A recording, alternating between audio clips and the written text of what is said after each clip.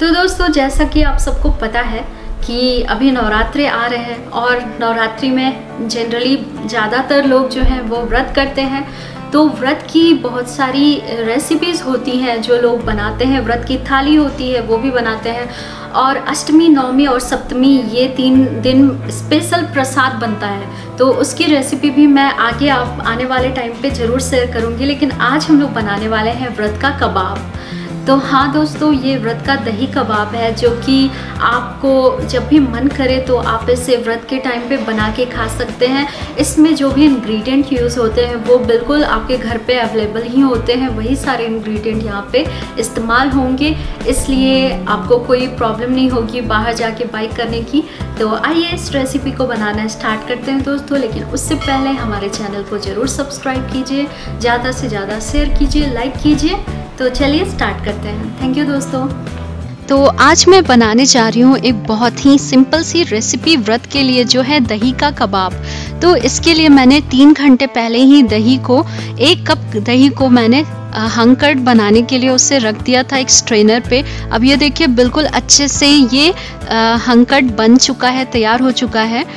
ये मैंने मीठी दही ली है, इसलिए मुझे यहाँ पे पनीर या फिर आलू डालने की ज़रूरत नहीं पड़ रही है, लेकिन अगर आप चाहें तो डाल सकते हैं। पनीर को ग्रेट करके या फिर थोड़ा सा अदरक ग्रेट करके और आलू को भी ग्रेट करके यहाँ पे मिक्स कर सकते हैं। ये कुछ ड्राई फ्रूट्स मैंने लिए हैं और इन्हें मैं इसमें फिलिंग की तरह यूज़ करने जा रही हूँ। और ये है राजगीरे का आटा।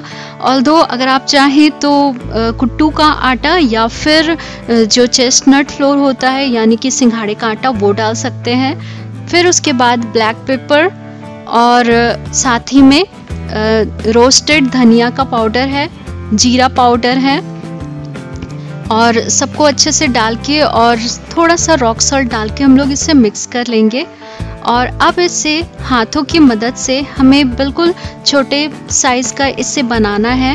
और उसमें जो है हम लोग फिलिंग जो हमने आ, कुछ ड्राई फ्रूट्स रखे थे तो उससे हम लोग क्रश कर लेंगे और वो क्रश ड्राई फ्रूट जो है वो हम लोग इसके बीच में दही के बीच में डालेंगे और मीन एक तवा जो है उस पर थोड़ा सा घी हम लोग डाल के ग्रीस करके उसे गर्म होने के लिए रख देंगे और ये जैसे ही हमें हमारा प्रिपेयर होगा वैसे ही हम लोग इसे डालते जाएँगे। इसे आपको कहीं सिक्योर करके नहीं रखना है क्योंकि ये बहुत ज़्यादा सॉफ्ट होता है। अगर इससे हम लोग केयर से नहीं बनाएँगे तो ये बिल्कुल आसान आसानी से टूट जाएगा। लेकिन अगर आप इसमें आलू या फिर बाकी के या फिर पनीर या फिर बाकी के इंग्रेडिएंट डालते हैं तो उससे ये थोड़ा सा कड़ा हो जाता है। लेकिन अभी ये फ़िलहाल बिल्कुल सॉफ्ट है, उससे पलट पलट के हमें सेक लेना है। और यहाँ पे मैं तेल का इस्तेमाल नहीं कर रही हूँ, घी का इस्तेमाल कर रही हूँ, क्योंकि व्रत में घी का ही इस्तेमाल होता है। तो दोस्तों, सर्व कीजिए इसे किसी चटनी या डिप्स के साथ। थैंक यू दोस्तों।